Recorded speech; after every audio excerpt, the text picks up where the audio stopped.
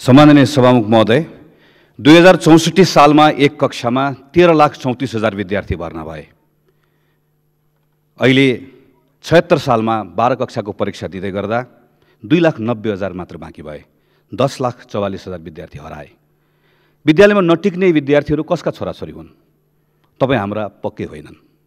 जो विद्यालयमा टिकेका छन् उनले कति सिके भनेर हेऱ्यौँ भने सरकार भन्छ कुनै पनि विद्यार्थीले कुनै पनि विषयमा पचास प्रतिशतभन्दा बढी सिकेन। अझ अङ्ग्रेजी गणित विज्ञान हेऱ्यौँ भने त्योभन्दा धेरै तल छ। यी नसिक्ने विद्यार्थीहरू कसका सन्तान हुन्? तपाईँ हाम्रो पक्कै होइनन्। देशमा छत्तिस हजारभन्दा बढी प्रारम्भिक बाल विकास केन्द्रहरू छ। योग्य शिक्षकबाट पढाउनु पर्ने ठाउँमा आठ कक्षा पास गरेकोले छ हजार रुपियाँ तलबभन्दा कममा यी विद्यालयमा पढाइन्छ।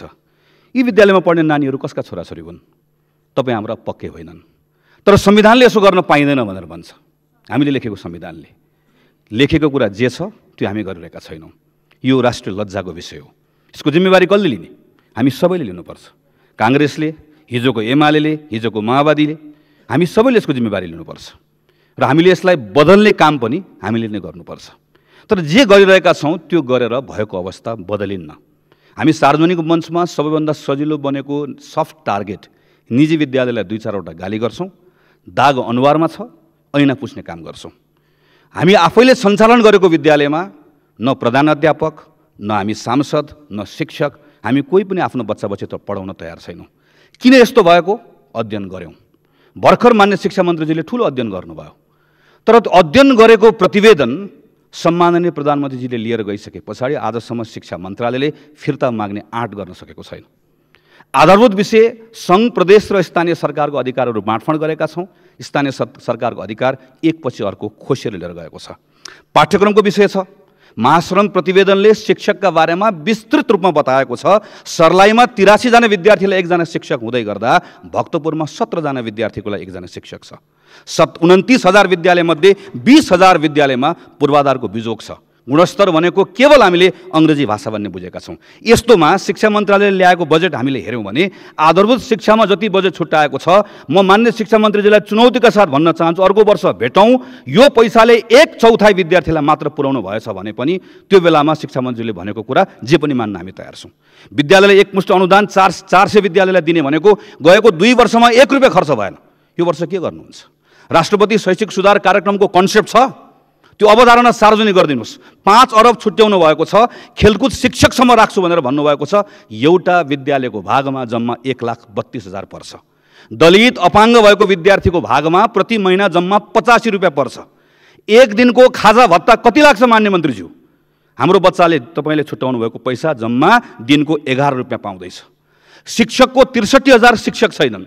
शिक्षकमा यत्रो ठुलो डिपार्चर गर्नुपर्ने बेलामा कुनै अवधारणै नभएको स्वयंसेवक शिक्षक भनेर पाँच अरब छुट्याइएको छ। यो बजेटबाट हामीले पुग्न खोजेको कहाँ हो? हाम्रो युनिभर्सिटी सिस्टमको बारेमा ठुलो परिवर्तन गर्नुपर्नेछ। सङ्घले के गर्ने प्रदेशले के गर्ने स्थानीय सरकारले के गर्ने भन्ने बारेमा छलफल गर्नुपर्ने बेलामा हामी फेरि छाता ऐन भन्दैछौँ। दसौँ योजनादेखि छाता ऐन भन्न थालेको। के हो छाता ऐन अनि छाता ऐन लिएर आउने हो भने अहिले नयाँ विश्वविद्यालयको प्रस्ताव किन लिएर आएको? के नयाँ विश्वविद्यालयको अध्ययन भएको छ? डिपिआर तयार भएको छ। यत्रो पैसा यो वर्ष एक रुपियाँ खर्च गर्न सक्नुहुन्छ। नामको बारेमा होइन सम्मानित नेताको नाम अहिले भएको विश्वविद्यालयमा राखिदिने कुरामा कुनै आपत्ति गर्नुपर्ने छैन। तर यस्तो अवस्था किन बनाउँदैछौँ? विश्वविद्यालयका बारेमा यति धेरै अध्ययनहरू भइसके पछाडि पनि यी कुनै पनि कुराहरू सुधार गर्न हामीहरू तयार किन भइरहेका छैनौँ। यति मात्र होइन। हामीले अन्य कार्यक्रमहरू हामीले हेऱ्यौँ भने पनि गुणस्तरीय शिक्षाका बारेमा यति धेरै कुराहरू गर्ने भनेर भनिएको छ। तर कुनै पनि विषयको बारेमा खर्च भएको बजेटले कहीँ पनि पुर्याउँदैन त्यसैले सम्माननीय सभामुख महोदय मैले यही कुरालाई लिएर आफ्नो खर्च कटौतीको प्रस्ताव राखेको छु। खानेपानी मन्त्रालयको बारेमा मेरो एउटा मात्र कुरा छ। संविधानको धारा पैँतिस चारले प्रत्येक नागरिकलाई स्वच्छ खानेपानी तथा सरसफाइमा पहुँचको हक हुनेछ भनेर मौलिक हक भनिएको छ। यो प्रश्न सम्माननीय सभामुख महोदयलाई पनि हो।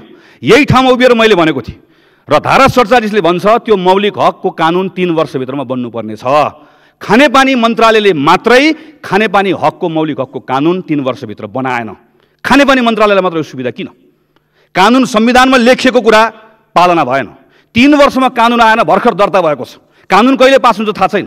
तिन वर्षभित्र खानेपानीको मौलिक हकको कानुन किन नआएको? किन नबनाएको? यो विषय संविधानमा लेखेको विषय संसदमा नआउँदै गर्दा हामी यसमा बोल्नुपर्ने हो कि होइन? म सम्माननीय सभामुख महोदयको पनि यो विषयमा ध्यान आकर्षण गराउन चाहन्छु। धन्यवाद।